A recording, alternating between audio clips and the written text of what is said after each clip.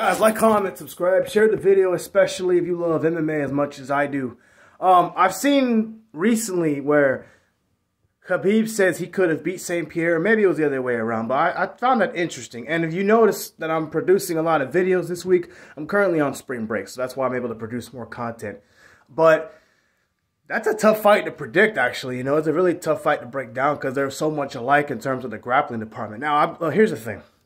I do believe Khabib was probably stronger than St. Pierre, and I do think he would have got the better out of the wrestling exchanges. But how much better? Do I, am, am I talking about where you have two guys that are evenly matched, and you might have a three to one, three to two takedown ratio, maybe just one to two takedown ratio, or you, uh, or am I talking about where it's obvious where Jon Jones takes down Cormier four out of five times, and the one time went to Cormier in their first fight, and then Colby Covington taking down Masvidal five, six times in their fight, however many times it was.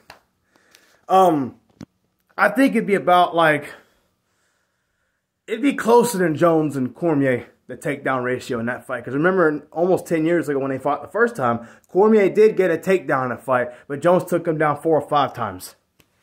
I think it'd be closer than that. I do think Khabib would get him down once, maybe twice in the fight. Just because St. Pierre is a great grappler himself, and he can take guys down also. And I'm pretty sure he can stay and can stop takedowns also. Here's the problem that I see with picking Khabib. Khabib's striking was decent. He did have a big punch, but he took he had problems taking damage from some of the better fighters. Conor did rock him at some point in their fight. Now I know Conor didn't have any business in there with him, honestly, because of the the fighting style. And Gaethje did rock him too.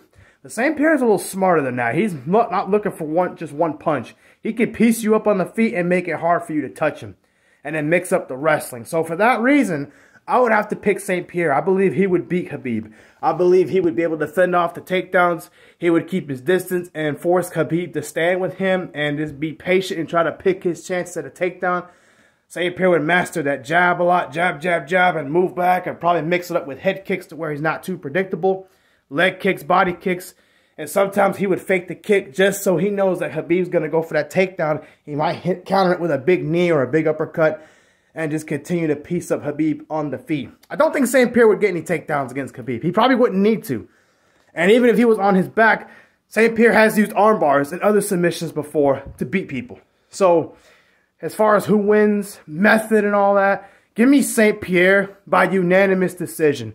I believe his mix-up of his techniques would keep Khabib guessing too much. And Khabib, if he can't get his wrestling going, I don't think he beats someone like St. Pierre.